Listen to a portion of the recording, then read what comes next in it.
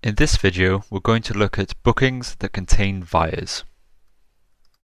Let's accept this job that has come through to us. There is a new notification on my screen now alerting me that I have multiple pickups and drop-offs. To see all the information, touch Info. Here we see my first pickup is Sam at the plough and that they're going to be waiting outside.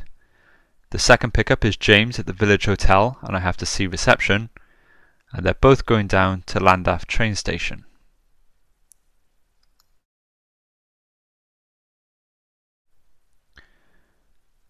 Let's now set my ETA to let the customers know how long I'm going to be. This will apply to the first customer only.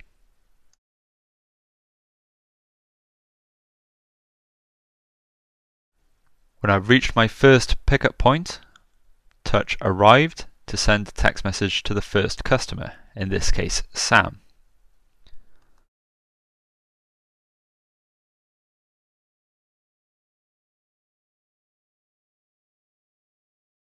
When the first customer is on board, press POB, and you'll notice now that the information on your screen is displaying that I have to go and see reception at the next pickup point. The customer name has changed, and the pickup point has changed when I get to the second pickup, touched Arrived, and this will send a text message to the second customer, provided a different number was given to the operator.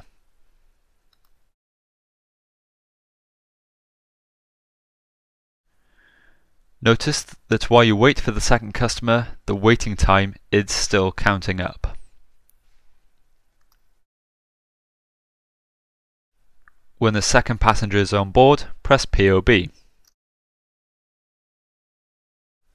The information on your screen has now changed to where both passengers are going. If one passenger is getting out before the other, this information will be displayed. When you've completed the journey, press pause to stop the meter, collect the fare, and press finished.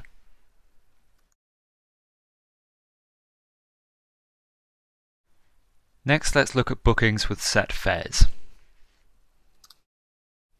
When you receive a booking that contains a set fare, you will receive a notification on your screen alerting you to this fact. Touch Info to check if there's any additional information regarding this job. In this case, it's just alerting us to the fixed fare.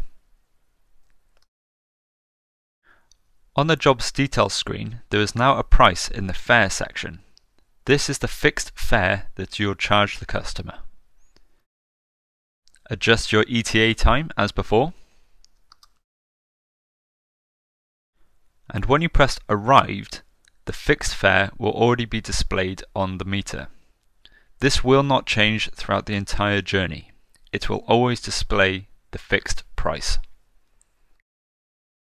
Continue on your journey as normal.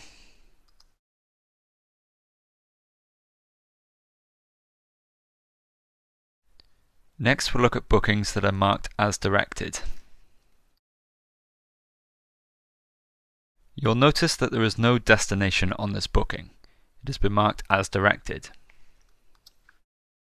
In order for the system to work at its full potential, the system needs to know where you are going. When you click POB, it will ask you for the zone that you are clearing in.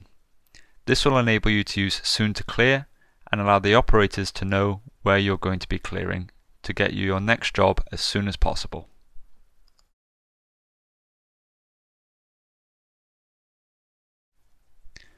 To put yourself on a street booking, touch Busy, then touch Hired. Your meter will then start automatically. In order to use Soon to Clear, the system needs to know where you are going. To do this, touch Options and Update Job. You will then have a list of destinations to choose from. Scroll through and select the zone that you'll be clearing in. Touch Next and the booking has been updated. When I am within one mile of my destination, I can touch STC or soon to clear to enable the function.